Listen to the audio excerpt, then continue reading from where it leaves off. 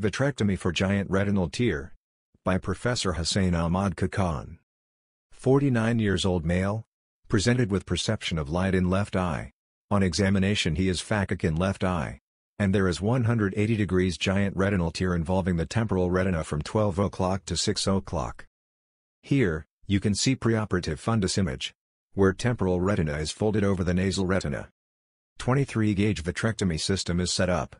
Here, you can see a giant retinal tear involving the temporal retina from 12 o'clock to 6 o'clock. And temporal retina is folded over the nasal retina.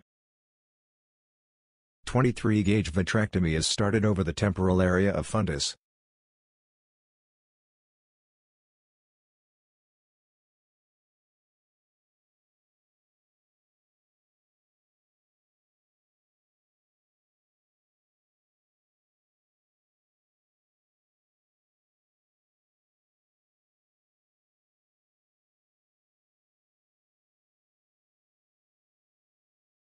Now I am trimming the anterior flaps of giant retinal tear.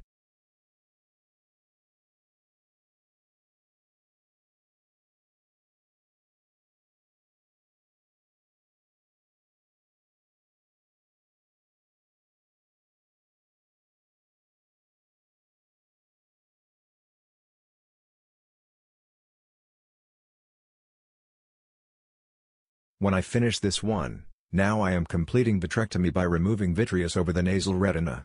And vitreous base shave. Now, I am trying to unfold the retina with the vitrectomy cutter. You should do it gently.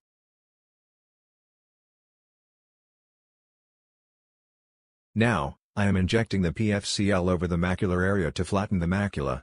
And unfold the giant retinal tear. You can see PFCL over the macular area and retina still having fold over temporal area. So I am injecting little bit more of PFCL.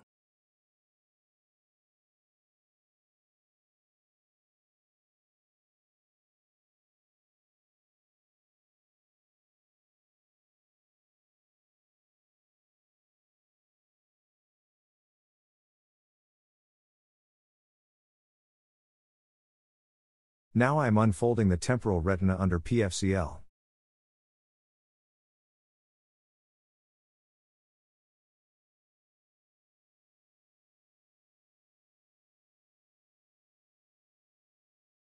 After unfolding almost all margins under PFCL with the vitrectomy cutter, you can see shortening of retina at 11 o'clock and at 8 o'clock.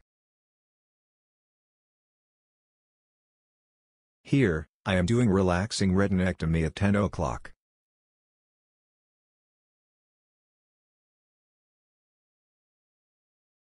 Now I am doing relaxing retinectomy from 7 to 8 o'clock. Here, you can see, the retina is mobile. Now I am injecting more PFCL to fill the eye completely.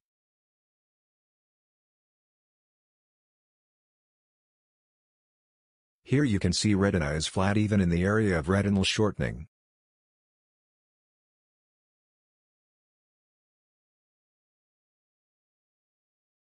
Now, I am unfolding margins of the retina with soft tip extrusion needle.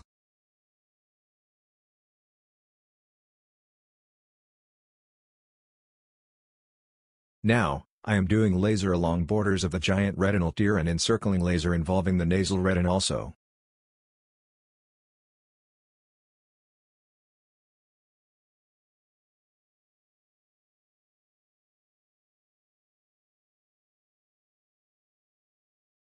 Now you can see the retina is flat. Laser has also been done along borders of giant retinal tear and peripheral nasal retina.